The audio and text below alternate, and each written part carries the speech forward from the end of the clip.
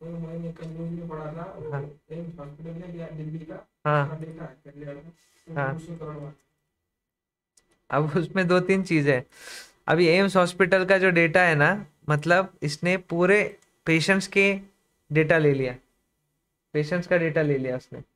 अब पेशेंट्स का डेटा मिलने के बाद पेशेंट्स की प्राइवेसी ब्रीच हो गई। मतलब अगर मेरे मैं मेरे को कुछ तकलीफ़ है मैंने हॉस्पिटल में दिखाया। मेरे रिपोर्ट ये किसी और को दिखा नहीं सकते। डॉक्टर, वो प्राइवेसी होती है। से लीगल केस हो जाएगा।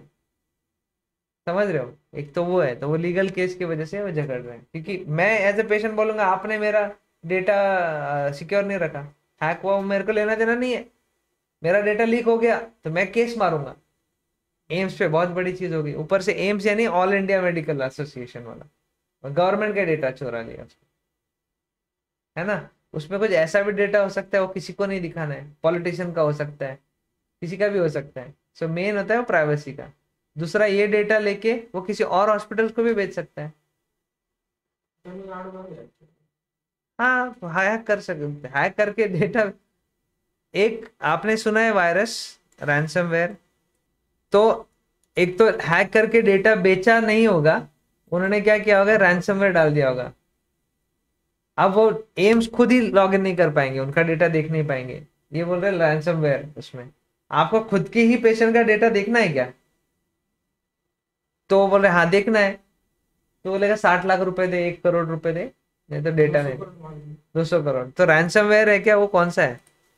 एम्स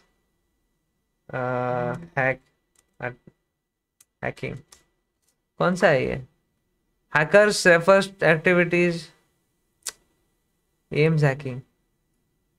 Delhi AIIMS ग्यारहवें दिनों शुरू हुए। डिजिटल सेवाएँ, फॉरेंसिक इमेज से ये देखो रैंसमवेयर है। मैंने अभी बोला, मुझे पता भी नहीं था। ये बहुत ये बना हुआ वायरस है। आप भी यूज़ कर सकते हो। आप क्या करो रिमोटली इनके पास इनके पीछे में रैंसमवेयर डाल दो। अरे, तेरा जो डेटा है ना, वो तू भी नहीं देख सकता। चलो, मेरे को अक्कल नहीं, मैं भी नहीं देख सकता। मैं मैं एक तो लेके रखूँगा ना डेटा हैक करके मेरे पास रख लूँगा। मैं बोलूँगा, मेरे को भी नहीं चाहिए बट तू भी नहीं देखेगा। वो एनक्रिप्ट हो गया डेटा ठीक है? अब मुझे पैसे दे, नहीं तो दोनों से उड़ गया वो। मेरा कुछ नुकसान ही नहीं है। नुकसान तेरा है।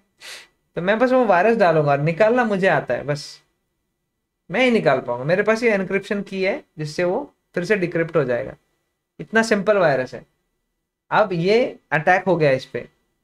अब इसको पैसे देने पड़ेंगे, या अगर इसने कोई सिक्योरिटी से किया होगा, अब एम्स का जो डेटा है ना, किसी पीसी में होगा ना, और पीसी का जो मालवेयर या फिर वायरस प्रोटेक्शन होगा एंटीवायरस होगा, वो किसी कंपनी को देना पड़ता है, बड़ा डेटा है, बड़ा सर्वर है पूरा।